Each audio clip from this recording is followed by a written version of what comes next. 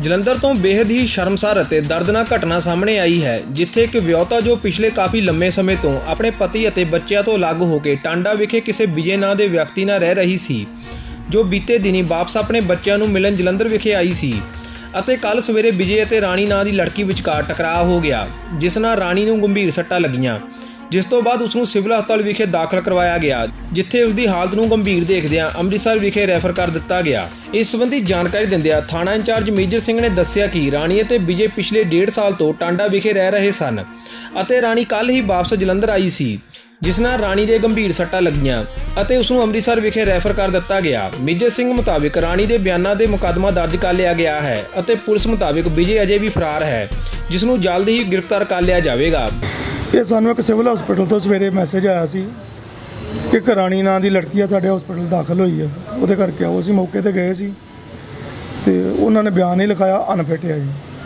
ਉਹ ਫਿਰ ਅਸੀਂ ਗੱਲਬਾਤ ਚੋਂ ਸਾਨੂੰ ਪਤਾ ਲੱਗਾ ਕਿ ਰਾਣੀ ਜਿਹੜੀ ਆ, ਇਹ ਇੱਕ ਵਿਜੇ ਨਾਂ ਦੇ ਲੜਕੇ ਨਾਲ ਕੋਈ ਡੇਢ ਕੁ ਸਾਲ ਤੋਂ ਟਾਂਡੇ ਰਹਿੰਦੀ ਹੈ ਤੇ ਆਪਣੇ ਹਸਬੰਡ ਨੂੰ ਇਹਨੇ ਛੱਡਿਆ। ਇਹਦੇ ਬੱਚੇ ਆ, ਇੱਕ ਬੇਟਾ ਇਹਦਾ, ਰਾਣੀ ਦਾ, ਉਹ ਅਰਬਨ ਸਟੇਟ ਰਹਿੰਦਾ।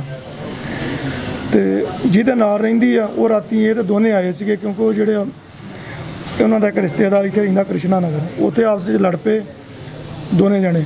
ਉਹਨੇ ਉਹਦੇ ਦੰਦੀਆਂ ਦੁੰਦੀਆਂ ਵਗੈਰਾ ਵੱਡੀਆਂ ਇੱਥੇ ਅੱਖਾਂ ਦੇ ਲਾਗੇ ਤੇ ਡਾਕਟਰ ਨੇ ਜੇ ਅਨਫਿਟ ਲਿਖਿਆ ਜੋ ਬਿਆਨ ਦੇਣਗੇ ਉਸ ਹਿਸਾਬ ਨਾਲ ਕਾਰਵਾਈ ਕਰ। ਸਰ ਇੱਕ ਇਹ ਚੀਜ਼ ਕਲੀਅਰ ਕਰਿਓ ਕਿ ਇਹ ਜਿਹੜੀਆਂ ਦੰਦੀਆਂ ਵੱਡੀਆਂ ਨੇ ਇਹਦੇ ਭਰਾ ਨੇ ਵੱਡੀਆਂ ਨੇ ਕਿ ਜਾਂ ਜਿਹਦੇ ਨਾਲ ਰਹਿੰਦੀ ਆ ਉਹਨੇ ਵੱਡੀਆਂ ਇਹ ਜਿਹਦਾ ਬਿਆਨ ਦਊਗੀ ਬਿਆਨ ਤੇ ਜਿਹਨੇ ਵੱਡੀਆਂ ਉੱਤੇ ਕਾਰਵਾਈ ਹੋ ਜੀ ਹੁਣ ਤੱਕ ਦੀ ਕੀ ਤੁਹਾਡੀ ਕਾਰਵਾਈ ਕੀ ਹੈ? ਹੁਣ ਡਾਕਟਰ ਕੋਲ ਲੈ ਕੇ ਗਏ ਬਿਆਨ ਨਾਲ ਡਾਕਟਰ ਨੇ ਅਨਫਿਟ ਲਿਖਿਆ।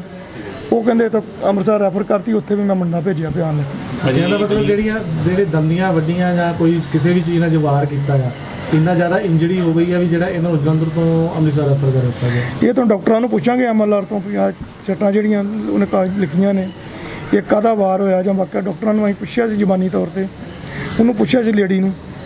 ਉਹ ਉਹਦੇ ਜੇ ਦੰਦੀਆਂ ਦਾ ਦੀ ਬਾਕੀ ਜੋ ਡਾਕਟਰ ਦੀ ਰਿਪੋਰਟ ਆਊਗੀ ਉਸ ਹਿਸਾਬ ਨਾਲ ਅਗਲੀ ਕਾਰਵਾਈ ਹੋਣੀ ਚਾਹੀਦੀ ਸੱਟਾਂ ਲੱਗੀਆਂ ਕੋਈ ਮਾਰਿਆ ਹੋਊਗਾ ਤਾਂ ਉਹ ਵੀ ਕਾਰਵਾਈ ਹੋ ਲਿਆ ਜਾਂ ਨਹੀਂ?